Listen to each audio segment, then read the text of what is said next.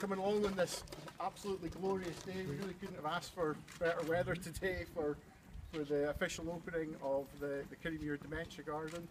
Um, as some of you will be aware, this is part of the, the bigger Dementia Friendly Kirriemuir project, um, which also includes Kirrie Connections, the, the hub in the town.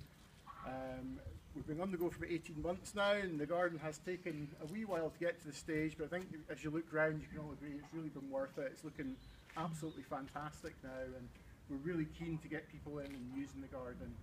Um, we've got some great ideas. Jim's already our ideas boards. That was Jim's idea for the ideas boards.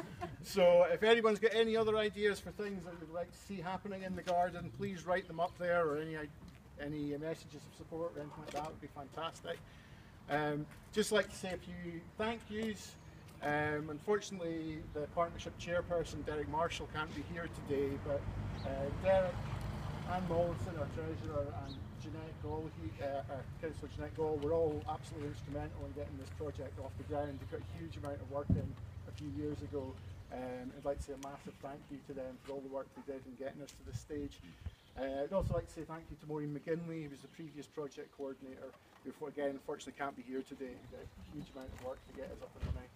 Uh, and also a thank you to our, vol- many of our volunteers who are here today who are really helping drive the project forward. And Evelyn, of course, the project worker, who again is putting a huge amount of work to, to get the project up and going. Um, I'm going to stop rambling on now, pass the scissors over to Amanda and let her officially open the garden. I would like to just say thank you so much to, to everybody for this beautiful garden.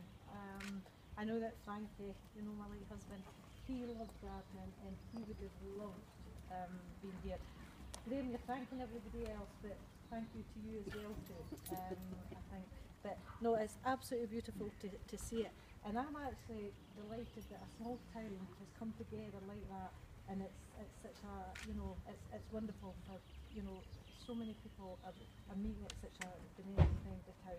So I would like to just say thank you so so much to everybody, and um, it gives me great pleasure. It's a great honour, and it gives me great pleasure um, for me to open this dementia garden.